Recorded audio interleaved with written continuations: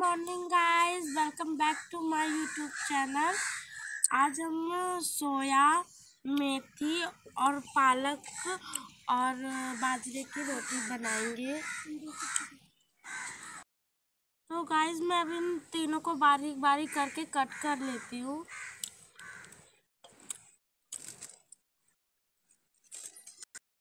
Guys आप देख सकते हैं, हमने सोया कट कर लिया है। मैंने यहाँ बारीक बारीक पालक कट कर लिया है।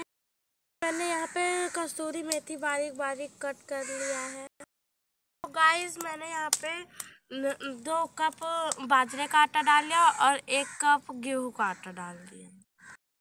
तो गाइस मैंने चिल्लीज ले लिया। इसको थोड़ा स्पाइसी बनाने के लिए तो अब मैं इसमें थोड़ा कट करके डाल दूँगी ताकि थोड़ी स्पाइसी हो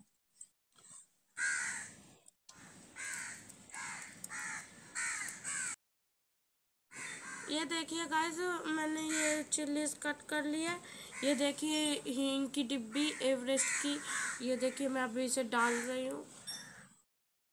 गाइज़ ये देखिए हमने ही ये एजवाइन ले लिया है एक वन टी स्पून अब हम इसमें हम डाल रहे हैं। हम इसमें टू टू टी स्पून हम नमक डाल रहे हैं सॉल्ट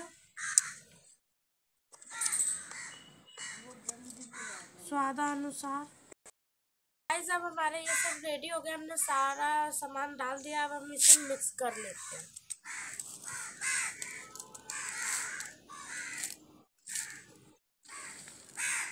मैं सारा मिक्स कर रही हूँ इसी में। तो गाइस हमने ये सब मिक्स कर लिया एक में ही। अब हम इसमें डाल, पानी डाल के मिक्स करके मिला लेते हैं।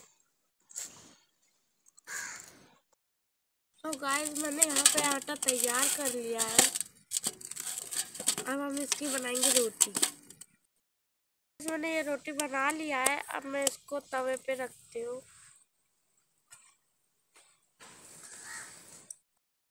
देखिए गाइस रोटी हमारी पक चुकी है। अब हम इसे कोयले के आग में सेकेंगे। गाइस ये मैंने दो रोटियाँ पका लिया। अब मैं इसे कोयले के आग में सेकूँगी, पकाऊँगी। गाइस, ये रोटी हमारी पक रही है।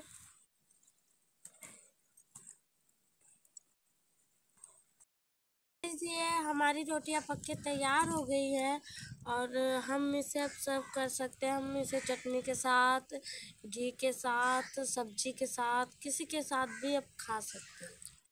आपको बहुत अच्छा लगेगा और अगर आपको पसंद आया वीडियो तो प्लीज़ मेरे चैनल को प्लीज़ सब्सक्राइब करना। करना मत भूलना।